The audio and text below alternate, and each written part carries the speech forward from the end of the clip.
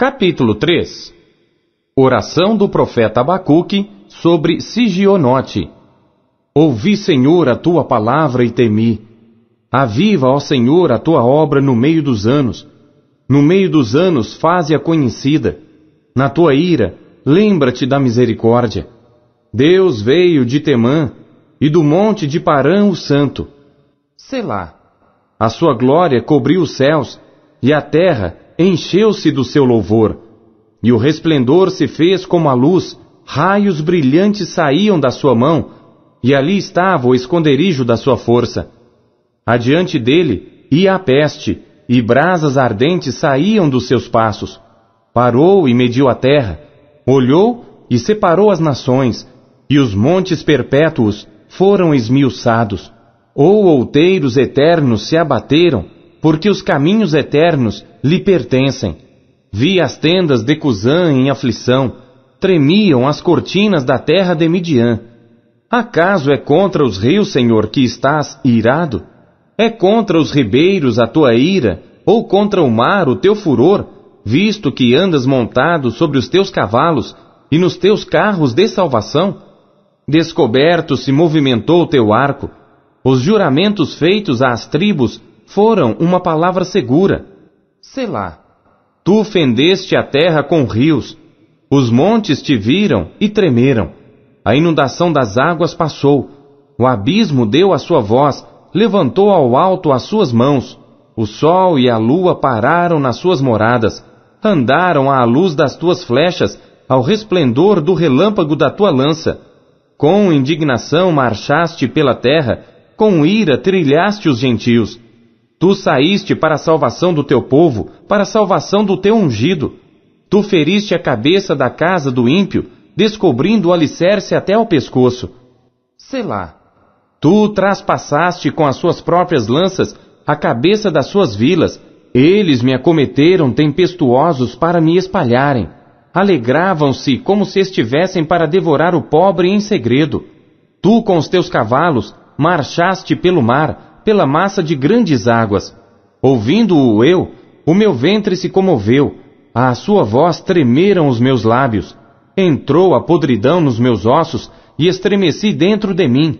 No dia da angústia, descansarei quando subir contra o povo que invadirá com suas tropas. Porque ainda que a figueira não floresça, nem haja fruto na vide, ainda que decepcione o produto da oliveira, e os campos não produzam mantimento, ainda que as ovelhas da malhada sejam arrebatadas, e nos currais não haja gado, todavia eu me alegrarei no Senhor, exultarei no Deus da minha salvação.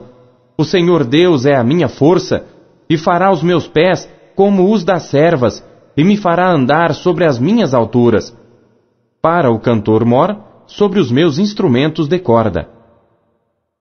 Sofonias, capítulo 1 Palavra do Senhor que veio a Sofonias, filho de Cusi, filho de Gedalias, filho de Amarias, filho de Ezequias, nos dias de Josias, filho de Amon, rei de Judá.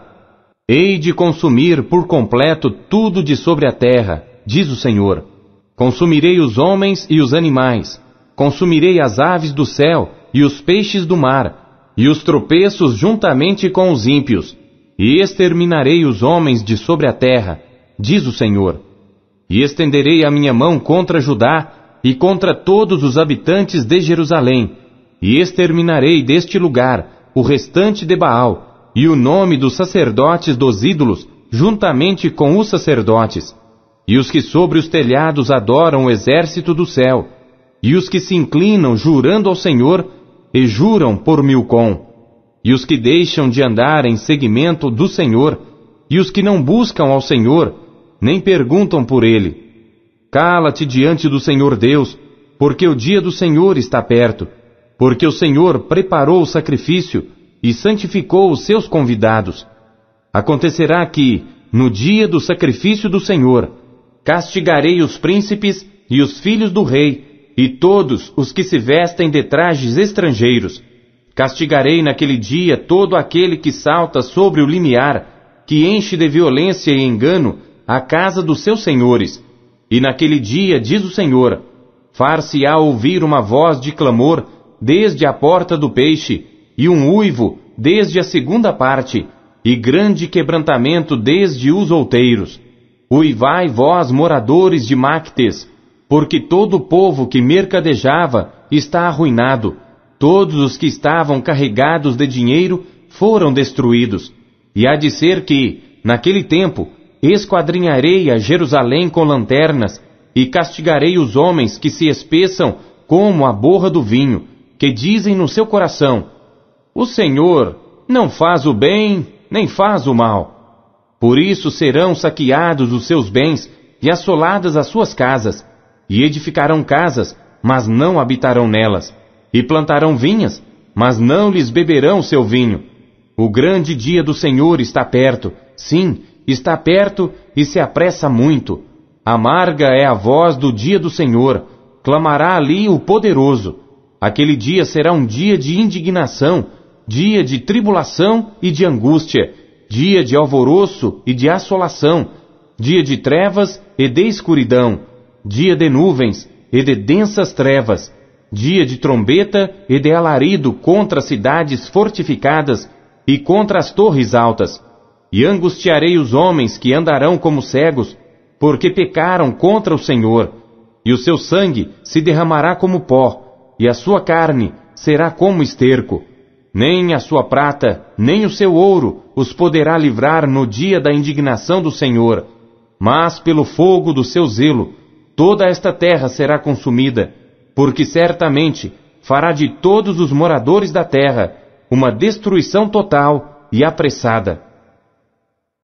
Capítulo 2 Congregai-vos, sim, congregai-vos, ó nação não desejável, antes que o decreto produza o seu efeito e o dia passe como a pragana, antes que venha sobre vós o furor da ira do Senhor, antes que venha sobre vós o dia da ira do Senhor. Buscai ao Senhor, vós todos os mansos da terra, que tendes posto por obra o seu juízo. Buscai a justiça, buscai a mansidão Pode ser que sejais escondidos no dia da ira do Senhor, porque Gaza será desamparada e Ascalon assolada. Asdod ao meio-dia será expelida e Ecrom será desarraigada. Ai dos habitantes da costa do mar, a nação dos quereteus. A palavra do Senhor será contra vós, ó Canaã, terra dos filisteus. E eu vos destruirei, até que não haja morador. E a costa do mar será de pastos e cabanas para os pastores e currais para os rebanhos, e será a costa para o restante da casa de Judá. Ali apacentarão os seus rebanhos. De tarde se deitarão nas casas de Ascalon, porque o Senhor seu Deus os visitará e os fará tornar do seu cativeiro. Eu ouvi o escárnio de Moabe e as injuriosas palavras dos filhos de Amon, com que escarneceram do meu povo, e se engrandeceram contra o seu termo. Portanto, tão certo como eu vivo, diz o Senhor dos Exércitos, o Deus de Israel, Moabe será como Sodoma, e os filhos de Amon como Gomorra, campo de ortigas e poços de sal, e desolação perpétua.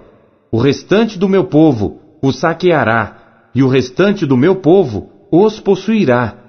Isso terão em recompensa da sua soberba porque escarneceram e se engrandeceram contra o povo do Senhor dos Exércitos. O Senhor será terrível para eles, porque emagrecerá todos os deuses da terra, e todos virão adorá-lo, cada um desde o seu lugar, de todas as ilhas dos gentios. Também vós, ó etíopes, sereis mortos com a minha espada.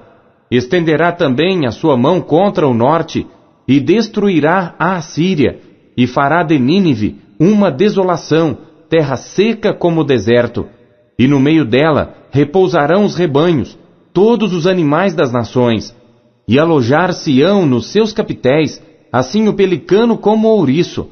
O canto das aves se ouvirá nas janelas, e haverá desolação nos limiares, quando tiver descoberto a sua obra de cedro.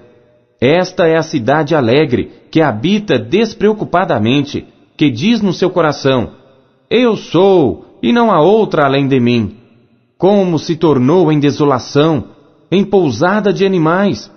Todo o que passar por ela assobiará e meneará sua mão. Capítulo 3 Ai da rebelde e contaminada da cidade opressora! Não obedeceu à sua voz, não aceitou o castigo, não confiou no Senhor, nem se aproximou do seu Deus. Os seus príncipes são leões rugidores no meio dela. Os seus juízes são lobos da tarde, que não deixam os ossos para amanhã. Os seus profetas são levianos, homens aleivosos. Os seus sacerdotes profanaram o santuário e fizeram violência à lei. O Senhor é justo no meio dela.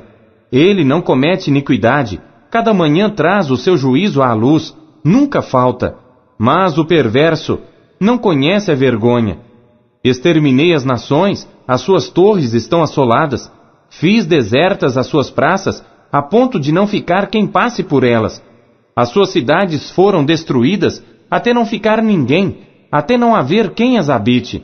Eu dizia: Certamente me temerás e aceitarás a correção, e assim a sua morada não seria destruída, conforme tudo aquilo por que a castiguei. Mas eles se levantaram de madrugada, corromperam todas as suas obras. Portanto, esperai-me, diz o Senhor, no dia em que eu me levantar para o despojo, porque o meu decreto é ajuntar as nações e congregar os reinos, para sobre eles derramar a minha indignação e todo o ardor da minha ira. Porque toda esta terra será consumida pelo fogo do meu zelo. Porque então darei uma linguagem pura aos povos, para que todos invoquem o nome do Senhor, para que o sirvam com o mesmo consenso. Da além dos rios da Etiópia, meus zelosos adoradores, que constituem a filha dos meus dispersos, me trarão sacrifício. Naquele dia, não te envergonharás de nenhuma das tuas obras, com as quais te rebelaste contra mim. Porque então tirarei do meio de ti os que exultam na tua soberba, e tu nunca mais te ensoberbecerás no meu Monte Santo, mas deixarei no meio de ti um povo humilde e pobre, e eles confiarão no nome do Senhor. O remanescente de Israel não cometerá iniquidade, nem proferirá mentira, e na sua boca não se achará língua enganosa, mas serão apacentados e deitar-se-ão, e não haverá quem os espante. Canta alegremente, ó filha de Sião, rejubila, ó Israel, regozija-te e exulta de todo o coração, ó filha de Jerusalém. O Senhor afastou os teus juízos, exterminou o teu inimigo. O Senhor, o Rei de Israel, está no meio de ti. Tu não verás mais mal algum. Naquele dia se dirá a Jerusalém: Não temas, ó Sião, não se enfraqueçam as tuas mãos. O Senhor teu Deus, o poderoso, está no meio de ti, ele salvará. Ele se deleitará em ti com alegria, calar-se-á por seu amor, regozijar-se-á em ti com júbilo. Os entristecidos por causa da reunião solene, congregarei. Esses que são de ti e para os quais o opróbrio dela era um peso. Eis que naquele tempo procederei contra todos os que te afligem, e salvarei a que cocheia, e recolherei a que foi expulsa. E deles farei um louvor e um nome em toda a terra em que foram envergonhados. Naquele tempo vos farei voltar, naquele tempo vos recolherei. Certamente farei de vós um nome e um louvor entre todos os povos da terra, quando fizer voltar os vossos cativos diante dos vossos olhos, diz o Senhor.